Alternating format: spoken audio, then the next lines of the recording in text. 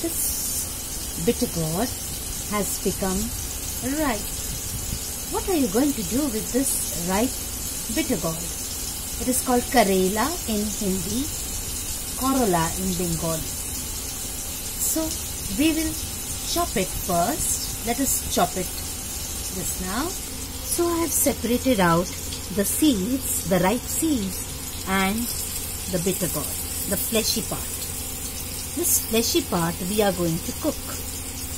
This, these seeds, if you put it in the soil in your garden, it will grow into beautiful creeper of bitter gourd.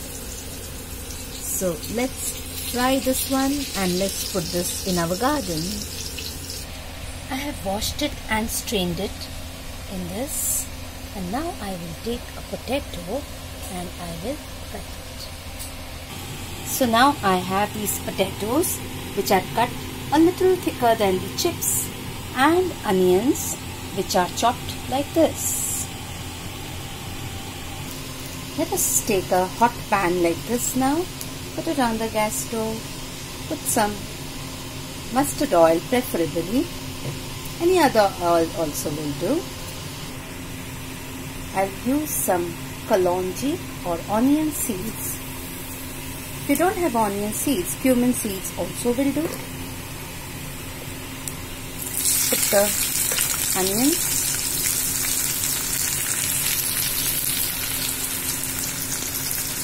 Allow it to fry for some time. After a little frying, we will put the bitter gourd, the Karela.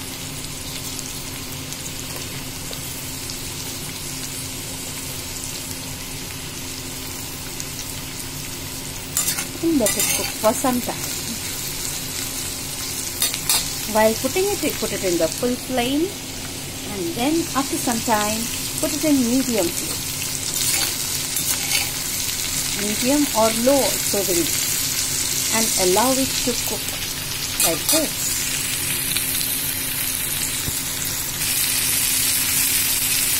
Put a little salt, sprinkle some salt according to your taste. And a little turmeric powder, haldi powder.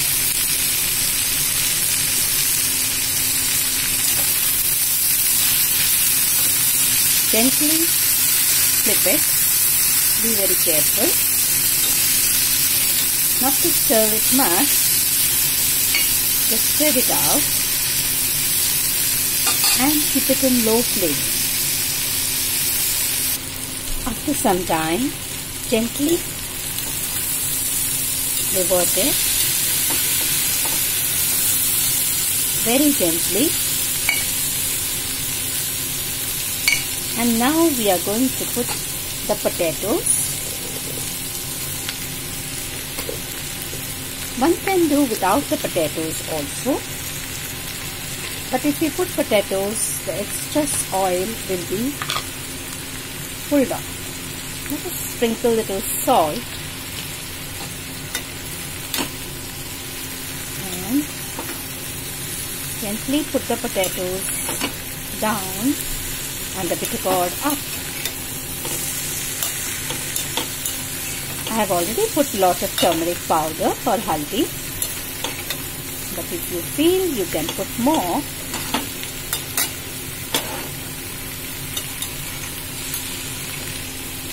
put the potatoes down and spread it out and allow the potatoes to cook now.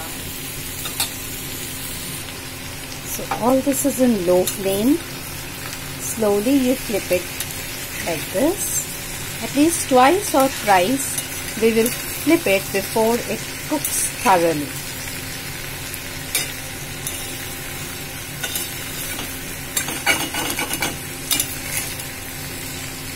Tastes very good with rice or chapati. It can be eaten just like that also. So like that, just spread it out again, allow it to cook.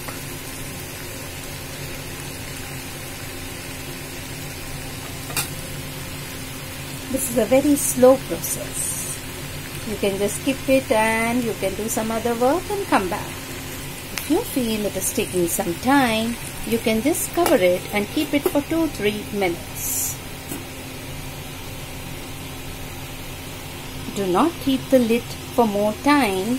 Remove it and again flip it. If you keep the lid for more time, then it will all get messed up. As I told you, it's a very slow process. Cooks in a very low flame and let's see whether it's boiled a little bit more time is required. So I keep it for some more time. The ripe ones get cooked thoroughly and it gets broken whereas the raw ones remain full like this. This can be made with raw as well as the ripe ones. But the ripe ones also taste good when it's cooked like this. So it's almost done. We'll wait for 5 more minutes. Keep it on the flame and it's ready to eat. One can add a little sugar also but that sugar is optional. So the oil has slowly flowing, flowing out. You can see the oil. Is coming out. And also the potatoes have got cooked. If you cut the potato, it will listen. So the potatoes are cooked and it's done. So now we will put off the gas stove Make it full. I made it full first and now I will put it off and allow it to remain for some time. So this is one way how which how Karela is made in India. There are many other ways. I hope you will make it and eat. Bye.